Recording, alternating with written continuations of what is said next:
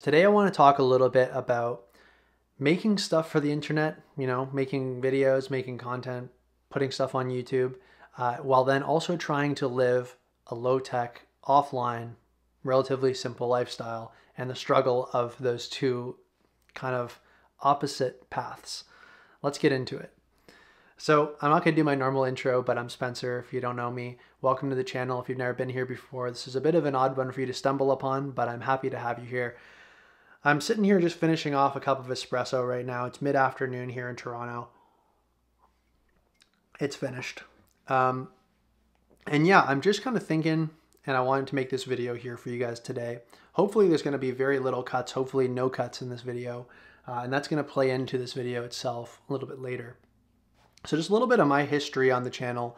I've been posting here for just about a year now. Um, my first post in this like I've been posting consistently on here for just about a year. My first post where I started posting consistently was this one I did on hard bread, which is criminally underviewed if you ask me, and not because of me, because of the content. Like I think it's so cool that hardtack, hard bread is still being produced by somebody here in Canada, here in 2024. So I linked that video above if you want to check it out, because go and check it out. Um, anyways, after that, I started posting on here pretty much two days a week, and I have just stuck to that this entire time. And it's been a lot of fun, and it's been so awesome to see how many people have enjoyed the content and have come to see what I'm doing around here. But it's also been quite tiring. Um, I've been posting on here, you know, this entire time, um, and I've not stopped working my full time job. You know, I started this channel when I had a little bit less work because I work as a freelancer and there was more time. But pretty soon after that, like March or February even, the work picked back up and I found myself very busy again. And I was working, you know, a 60 hour work week or an even 70, 80 hour work week sometimes, because it can be that much in the film industry, plus adding on this 20 hour YouTube workload each week. And I found myself, you know, stopping and thinking, yeah, I'm on my screens too much. Like I'm not I'm not always practicing what I preach. You know, I think it's tough, especially just for anybody, whether you're making stuff for the internet or you're just a consumer, to find yourself offline too often because everything's online nowadays, right? Everything's been turned into an app. Since the invention of the smartphone, we've been carrying around a supercomputer in our pockets, which is constantly vying for our attention. And it's just hard to not find yourself on a screen. It's hard to peel yourself away from that as well for me, it's just that extra layer. Like before I was on the channel, I was not po- um, posting on the internet really at all. I didn't post on social media really. I had social media, but I wasn't really using it. And I was trying my best to be offline. And I found myself honestly more online since I've been doing this channel just because I have to be in order to make the videos, post them, and then engage with people in the comments. And it's been a struggle. And I haven't really been sure how to deal with it because as my workload has been progressing with the channel and with work, you know, it's coming to a head where I'm not burned out, but I am getting tired. I am finding myself being kind of exhausted and I'm aware like yeah, dude, you're on a screen too much. You need to figure out a way to approach this that's going to be better for you. So, that's kind of had me like this morning I was on the fence I was about to post something on the community tab saying, you know, I'm going to go down to one video a week for now because I don't really I need some space. I need to kind of have have some time. I'm about to go into a big stretch of work where I'm working for basically 20 days in a row and I'm out of the province again. Um, so, you know, I knew that I had this coming up and I thought if I went down to one day a week, that might just be what I need. But I didn't feel too good about that because I have so many things I want to share. And if I go down to one day a week, I'm just not going to have the time. Like it's just going to, there's going to be too, too many ideas and I'm going to be posting them too slowly. There's going to be a huge backlog. And it kind of made me sit down today. I got a pen and a paper out and I started really writing down like what was, what was my mission here? What do I want to do with this channel? What do I like to watch on YouTube? And how can I bring that here and do that in a way that feels good and is sustainable and allows me to have that balance that I'm looking for. So, you know, for me, that just means stripping down the content a little bit and having kind of a clear delineation of, of you know, the more in depth content as well as some more raw content where it's just like this. You know, when I started the channel, I pretty soon came up with the idea to do these couch talks where I was sitting on my couch and it was a more low key style where I wasn't really editing it very much and it was more stream of consciousness, just kind of saying things as they came to me. And that was fun because that allowed me to get some of these ideas out that I had that I didn't need to go through the whole process of making a more structured, organized YouTube video with editing and everything else. I was able to just get those ideas out.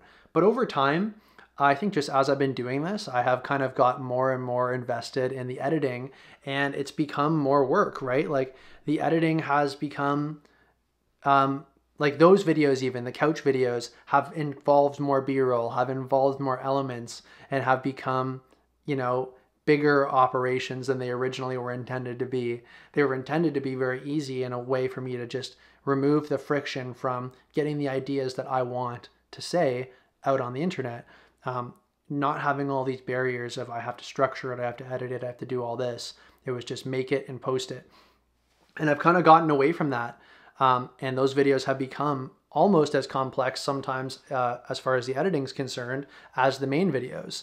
So that is just become too much with my workload.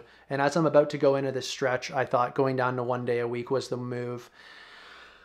So honestly, what I ended up coming to was, you know, just reflecting on what's the mission for this channel? What do I like? And when I first started watching like YouTube, it was back when it was the broadcast yourself era.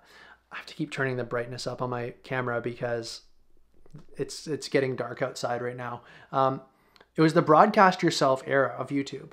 You know, people were just posting for the fun of it. There weren't YouTubers yet. It was just YouTube for YouTube's sake. I was on there as a kid posting little like tributes to animals with little slideshows of Google image photos of like bears and wolverines and stuff. And that was what YouTube was all about. It was just about sharing things that was fun for you. And I guess over time it, it's become more commercialized and more like TV and you know that has changed the production value of it and the Mr. Beastification of the the platform has occurred and just like people push turning away from like hyper technology, hyper connectivity, I think people are starting to turn away from that and are wanting to see more stripped back, more raw content of people just talking and sharing their opinions and this kind of format, right? That's why I did the couch videos because that was the stuff that I always wanted to see. And, you know, over time, the couch videos, I've just kind of been editing them more and more and they've become too much work for me. So I thought, like, I got to get back to this type of video where I'm just talking to you guys one on one.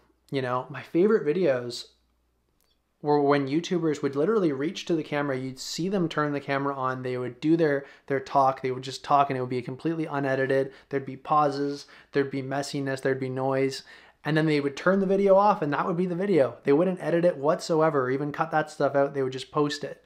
And that's so sick and I think there's still so much space for that on the platform. I love that and I don't want to stop making that.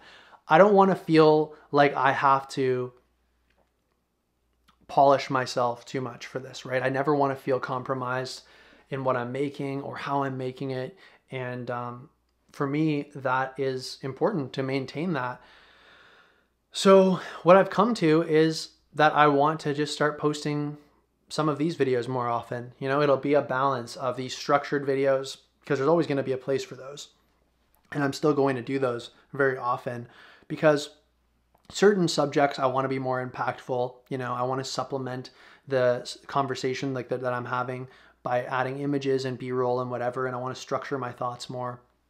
There's always going to be a need for editing content to make it like stronger for for posting here. But there's also this benefit to have the B-side element, right? To be just here with you guys and being clear about this stuff. And I love that so I notice I'm running out of card space here. I'm I, my camera is almost full. My voice is cracking. I'm going into little boy mode. But basically, what I want to say is if you're in the same shoes or if you want to get into this posting here on the internet, I think you need to just really get real about why. I think you need to write this down. You need to kind of come up with a mission and find what what am I doing here? What's the point? Um, and then figure out how to best do that. And don't just set it and forget it and then go about living your life and not really reflecting on it. You need to sit down and you need to, you know, revisit that from time to time. You need to make sure that you're not just setting it and then going months and months and kind of drifting away from your original intention and your original goal. I think you need to come back to these things from time to time and make sure that you are serving yourself and your mission appropriately. Um, that's what I'm going to make sure I do in the future. And that's what I'm doing right now. So I'm setting the intention that, you know, rather than going down to one video a week, which I, I would feel regretful about because there's a lot of things I want to say, I'm just going to loosen up the expectation of what I'm going to be doing on here. And I'm going to go back to having some more stripped down videos like this coming up here more often. And it's not just going to be me, you know, talking about my clothes. It's going to be me talking about anything that I could talk about in a more structured format, but in a not structured format. And I hope you guys are excited about that as well. I'm excited about it because it's freeing, you know. I don't know what it looks like to you guys to see me posting here. Um, you know, for me, before I was posting, to see somebody with like 20,000 or 25,000 subscribers, I would think like, oh, their life must be so different. But it's not. Like, nothing has honestly changed. My life is just the same as it was when I had 30 subscribers when I posted that hard bread video last year. I still work a full time job. I'm still doing all this extra stuff. Uh, this is just an extra 20 hours a week for me to post here on YouTube two times a week. So I have to find a way to make it balanced. And for me, this is the approach. And I would encourage you, if you're doing the same, to do the same, to reflect on that, find out how to best approach it for yourself, and go forward. That's all I have to say on this today, guys. I hope you like this. Let me know what you think of this format.